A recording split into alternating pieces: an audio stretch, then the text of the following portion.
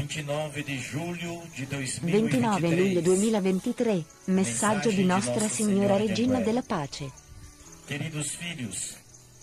Cari figli, fatevi coraggio e assumete il vostro vero ruolo di cristiani. Voi siete del Signore e solamente Lui dovete seguire e servire. Vi chiedo di essere uomini e donne di preghiera. L'umanità cammina per l'abisso della distruzione spirituale ed è arrivato il momento del vostro ritorno. Non rimanete stazionari. Dio ha fretta.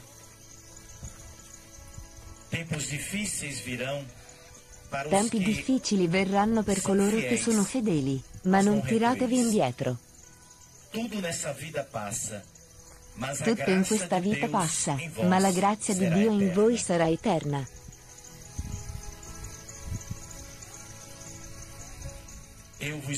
Io vi amo.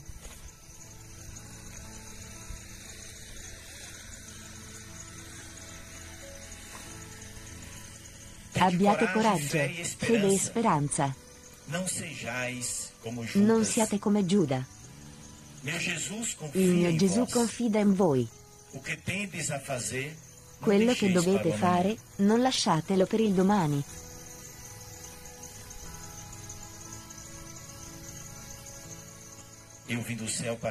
Io vengo dal cielo per condurvi a mio figlio Gesù. E.